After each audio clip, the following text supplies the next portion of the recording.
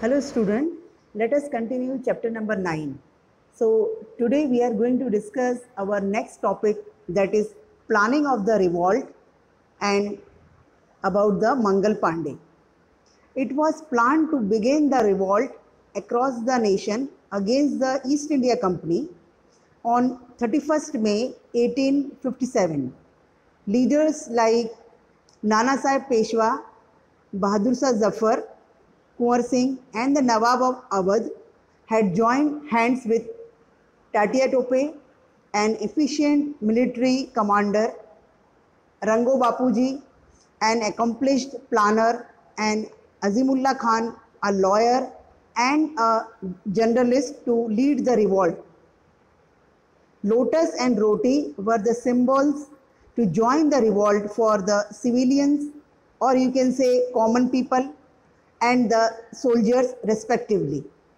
These symbols were circulated across the nation.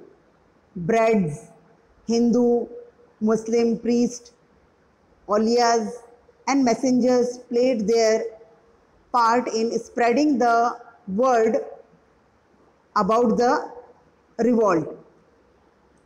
Mangal Pandey opposed the use of the cartridge greased with the fat of cows and pigs. As a result, the revolt began earlier than the fixed date. It disrupted the planning and the objectives of the revolt could not be achieved.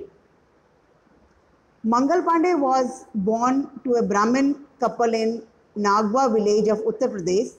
He joined the British army as a soldier at rupees 7 as his salary. The Indian soldiers who had agreed to revolt wanted to wait till 31st May, whereas 26 years old Mangal Pandey could not wait till then. He refused to follow the orders of using the Enfield rifle and challenged the British officers. Sergeant Major Hewson ordered to arrest him, but Mangal Pandey shoot him. Now, he defeated another British officer too. The Indian soldiers refused to arrest Mangal Pandey. Being a Brahmin, when he was concerned by the British soldiers, he shoot himself by his own rifle. A bleeding Mangal Pandey was taken to the hospital because the British wanted to get information about the plan of the revolt from him. The military court pretended to run a case against Mangal Pandey on 6 April 1857. The entire proceeding was in English. He was sentenced to death at the end, but he did not divulge any information regarding the revolt of the British. That's how our patriots were. He was hanged at 5:30 a.m. on 8th April and that's how he became the first martyr of the revolt of 1857.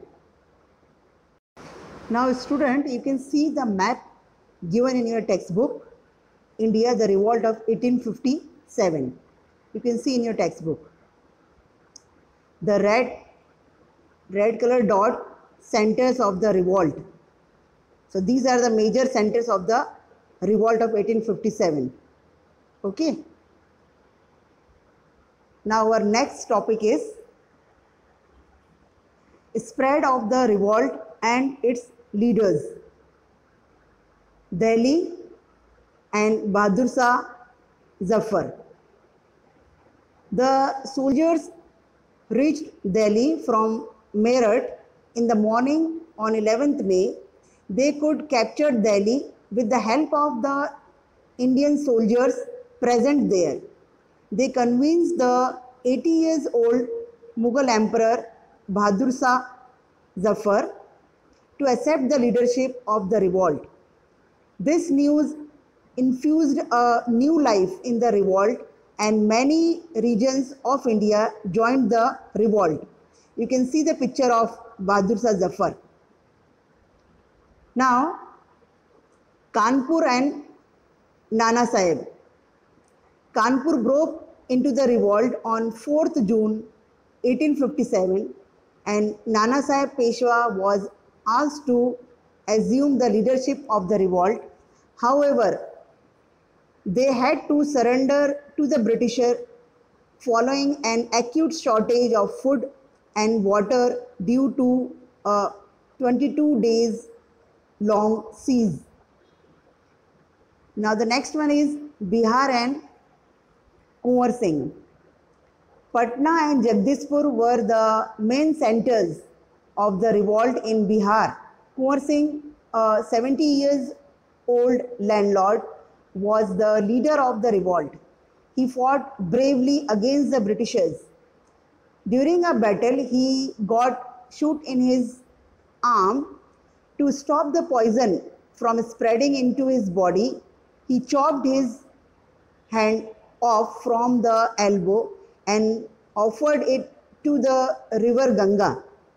He freed Jagdishpur from the British control before he died. Now,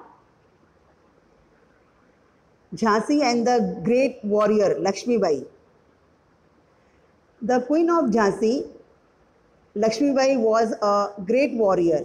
The Britishers did not accept her adopted son as the heir to the throne. This is the reason for her joining the revolt. She was one of the most skillful leaders of the revolt. She had also prepared an army of women to fight against the British. They fought bravely against the British.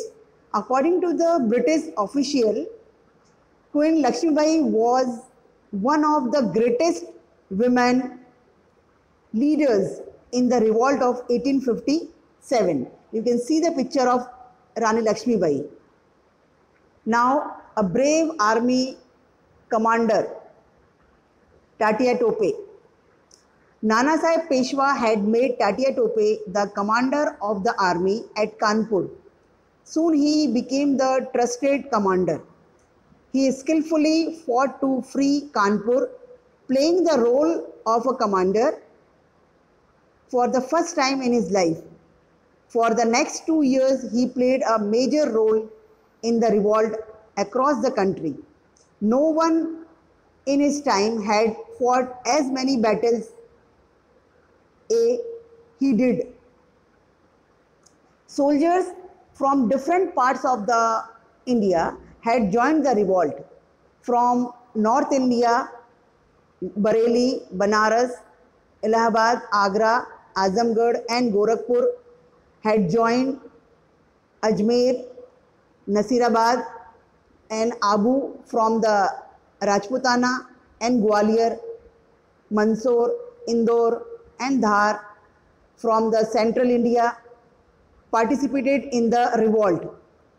Satara, Kolhapur, Savantwadi, Nargad, Dharwad, etc. became active in south. However, these centers were scattered. You can, student, you can see the picture of Commander-in-Chief Tatia Tope in your textbook. Now, in my next video, I will explain you the further topic. Thank you.